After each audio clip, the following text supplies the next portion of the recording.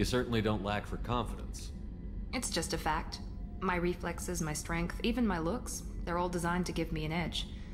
No point in hiding from it. It's the reason I'm trusted to oversee the most dangerous, risky, and technically demanding operations Cerberus undertakes. And it's why I was assigned to you. It's my job to make sure you succeed, Shepard. Go bang, okay?